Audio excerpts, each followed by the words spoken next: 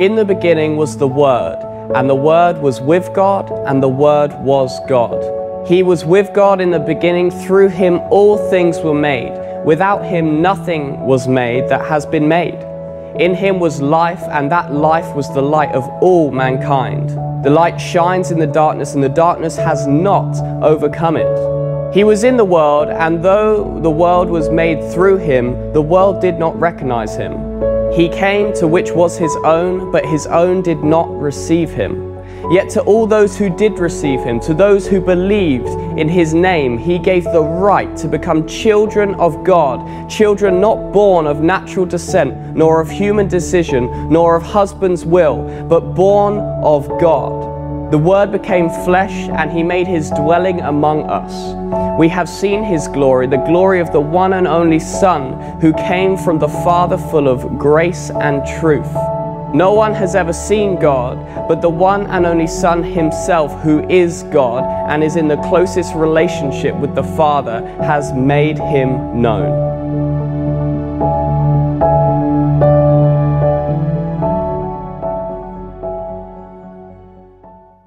Everyone longs for it. Some wait till their last breath. An orphan, his eyes will always be on the door. A helpless mother searches for some help. A youth who has lost a job is broken totally. Want someone to hear him, listen to him. The theme of today's reflection is visitation. Visitation brings grace, joy, happiness, and peace. The entire world longs for it. Maybe we are from different religion, caste and creed, but what binds us is that special grace of visit. Visit can transform change and bring healing. All 73 books of the sacred scripture, 46 from the old and 27 from the new. We hear, hear every page of it that God is in fallen love with humanity. God loves us. He spoke to Abraham Isaac, Moses, prophets, his deep love for us is shown. God's unconditional care has been seen. And in the New Testament, we have Jesus, our master, teacher, and healer. He tells Matthew, get up, leave everything. He visits Matthew. He goes to tax collectors and sinners' house to visit. He experiences joy when Zacchaeus jumps down and he tells him, I want to dine with you. I want to visit your home. He heals Peter's mother-in-law in a house. And then we have Martha and Mary where they were mourning. He visits and visitation or to visit a family is part of our Christian tradition. It is part of our faith. It is our duty. It is our joy. It is our happiness. And every Christian is called to visit. And today we will hear from Luke's Gospel two women, two seen and two little children unseen. What was the joy and happiness in them? One is an elderly woman and another is a young woman. And both these pregnancies in the sacred scripture are so rich with divine acceptance. Both of them have accepted God's love in their life. Elizabeth was advanced in age she could not for many years, and the world called her barren. Zachariah and she always prayed for a child, and God blessed them in their advanced age. And we have a young girl. She is blessed with a child. Mary runs to Elizabeth's house. And Elizabeth is filled with joy and happiness. And she says, How blessed I am, the mother of God has come to visit me. And the babe in my womb leaped for joy. There is a difference in this visit a total divineness, a total joy and happiness, and above all, for all of us to understand that God visited us in His own flesh into our lives. God comes, Emmanuel, God is with us. And then there is a beautiful song of Mother Mary.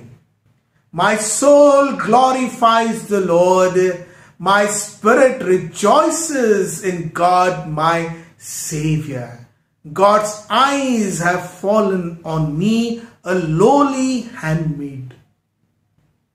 This visit has to be meditated because God is come in a human flesh and Elizabeth recognizes the presence of God.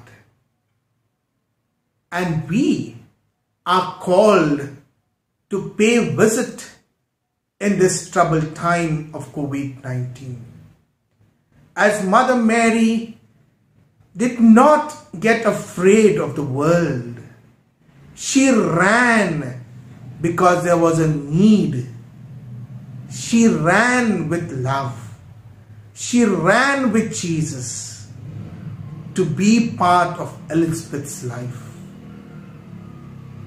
John Paul II, Saint John Paul II, who is known as the patron saint of the youth, and his famous quote, Do not be afraid in whatever circumstances you live in God is with you. Do not be afraid.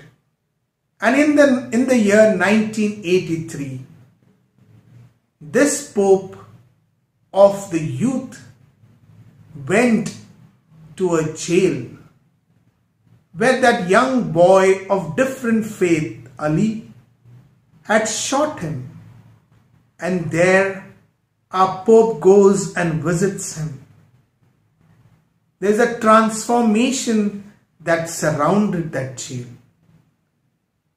Visits brings joy, happiness and healing.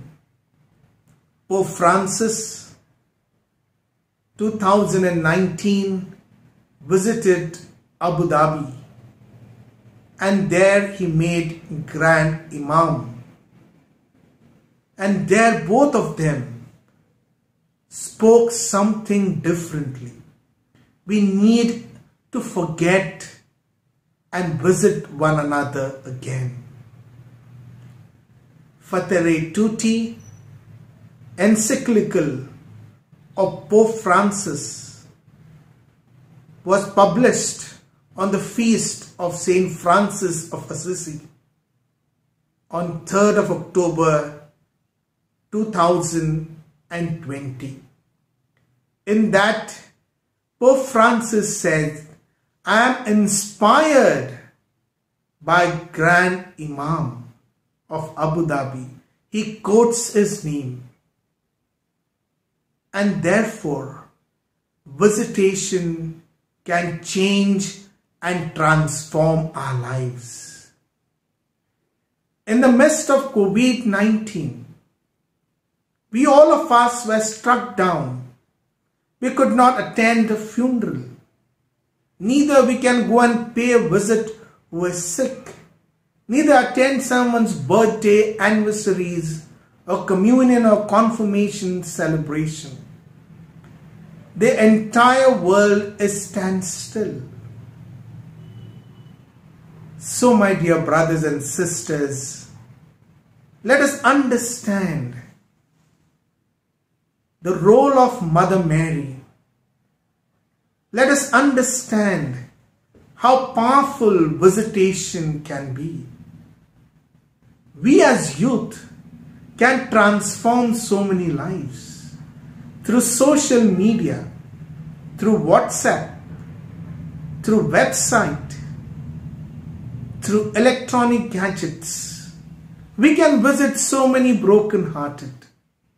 We can pass on positive messages.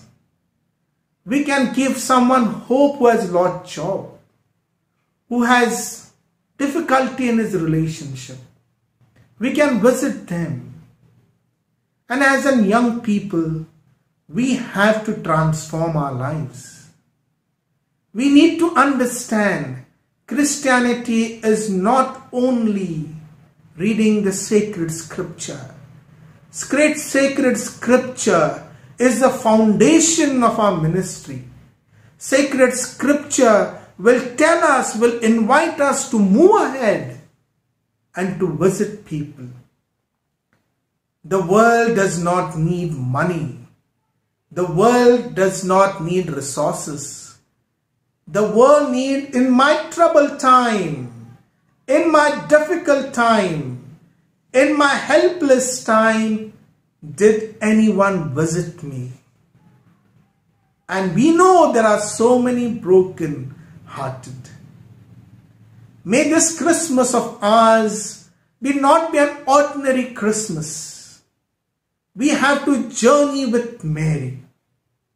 Mary knew that Elizabeth is going through a crisis. The world may not understand the divine hand of God on Elizabeth, but she runs to support her. And a mother who is pregnant will know exactly what this meeting is about. To give her hope, to give her courage, to give us strength. And so this Christmas, we need to ask God's grace. As Mother Mary understood the need to visit Elizabeth, you and I also can change so many people's life. Only a visit a orphan at the door, his eyes will be happy. A widow in an, in a widow home is longing for Christmas wishes. A child on a street requires something. In our homes, our parents are longing for our visits. We might visit the whole world through internet, but we might forget to visit our parents in our home. We might forget to visit our brother in my home. I might forget to visit my sister.